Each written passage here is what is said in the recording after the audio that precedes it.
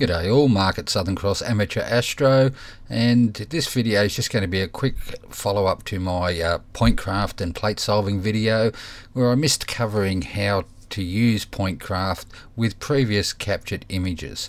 Uh, and this is a very handy and efficient way to get right back on target uh, over multiple sessions if you're imaging the same target. So this should be a nice short and sweet one. It's very easy to do and we'll get straight into it.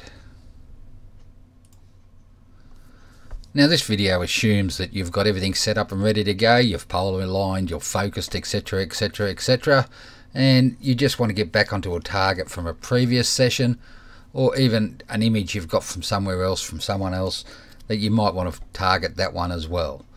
Now, a simple way to do things is first of all you start Pointcraft. Now if you load a FITS header from the same setup you're using, a FITS file from the same setup you're using on this one, um, when you load the file, it's the easiest way to do it. It will automatically fill in the RA and DEC because that uh, information is contained in the FITS header. And then you just hit the solve button. It will solve it and then we'll move on and do whatever else we need to do. But uh, for this one, I'm going to do it the hard way. I'm using a totally different setup to what the image was taken with, and I'll show you how to do that. So first of all, you need to select the image you want to use, and this is the same you know whichever way you're going you'll go to select an image and I'm going to select one I took with a uh, my Canon 6D and a uh, 300mm lens with a tele extender on it and um, of course being a uh, raw file it doesn't contain any header information and this is the same if you have a JPEG or whatever you have the same thing it doesn't store the coordinates. But if this had been a FITS file all that would be filled in and I just need to hit solve. But because I'm using a totally different setup what you need to do is go into your tools menu and from the drop down list in your object calculator you need to select the camera that was used um, if it's a different CMOS type of camera that was used, you'll need to fill in the pixel size and the uh, sensor size for that particular camera. camera. But uh, seeing I'm using a uh, Canon one here, I need to go down and select the 6D.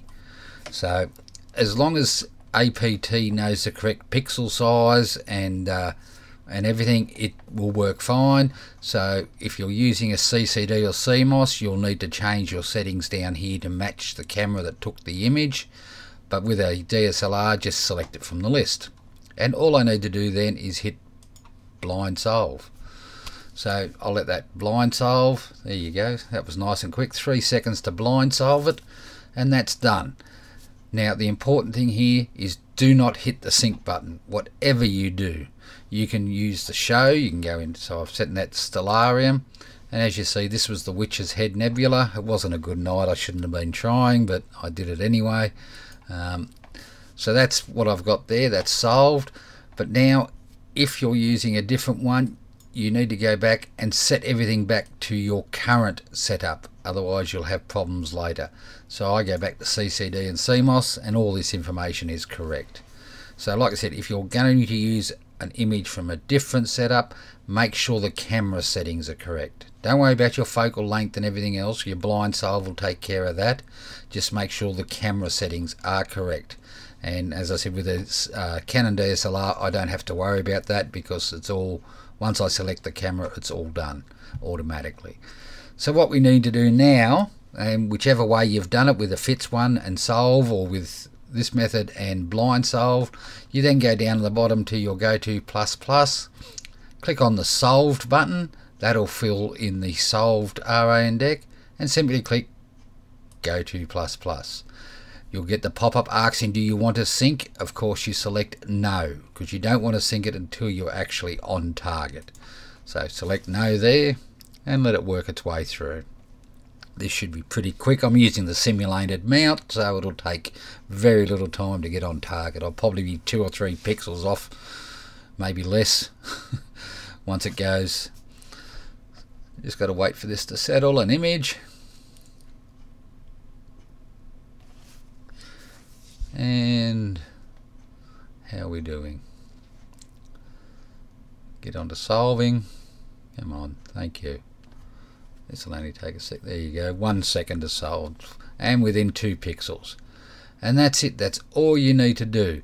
If you wish to now, you can now sync the mount because you are now on target so it knows where it is. Um, and that's it, you're done. You are now on target, ready to go.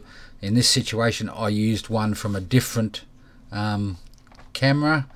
Uh, if I wanted to, I could go, let's go up here, uh, get out of my DSLR, go into my CMOS, uh, 2467, that'll do me. And so because this is going to be a DSLR image uh, sorry a FITS image um, taken with my um, I'll restart Pointcraft taken with the current setup so I don't have to change anything I'll just double click on the image and as you see it automatically fills in the coordinates hit solve success and go to solved again and go to plus plus. No I don't want to sync.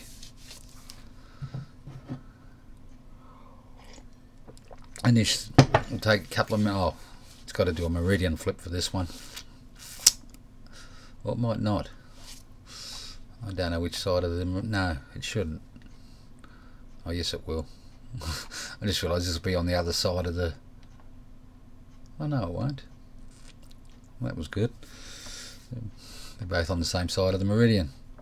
Didn't realise it was uh, one o'clock in the morning. So again, done, and within two pixels again. So that's it.